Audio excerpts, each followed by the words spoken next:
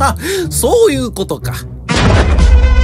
はそろそろどうやら地獄の王の出番さほら見てパパの口コミ。ちょい完璧最高逆さ星のパンチでワッパブン自由自在い。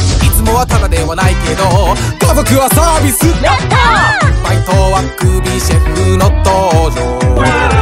最高級のおもてなしをし次第シャンパンにキャビアなどいかが？でも初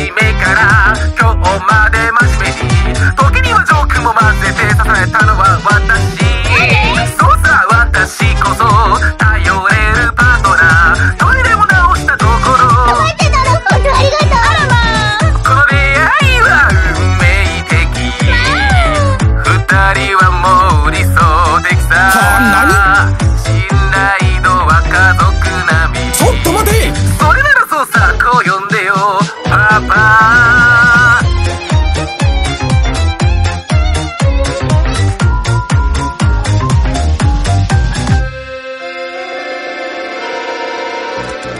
もし助けがいるならすぐ頼める方がいいさ。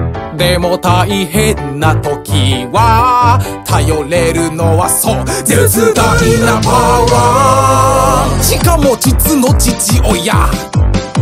血のつながりが全てじゃないさ。二人は家族同然。しょぼいやつばっか。邪魔ばかりして。邪魔？今なんて？だから邪魔なおやつだって。このクソ野郎ついに聞いたわ。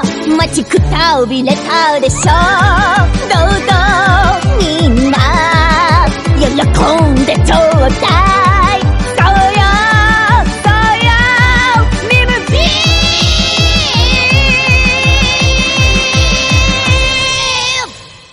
誰？